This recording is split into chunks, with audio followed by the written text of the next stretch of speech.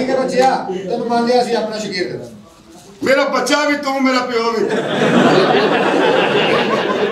ਓਏ ਇਹੋ ਗੱਲਾਂ ਉਸਤਾਦਾਂ ਨੂੰ ਨਹੀਂ ਕਰੀਦੀਆਂ।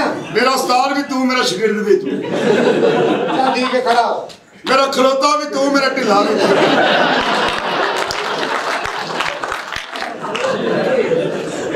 ਤੂੰ ਉਹ ਬੱਚਿਆ ਕੁੱਤੇ ਆਏ ਆ। ਮੇਰਾ ਕੁੱਤਾ ਵੀ ਤੂੰ ਮੇਰਾ ਹਾਂ ਹਾਂ।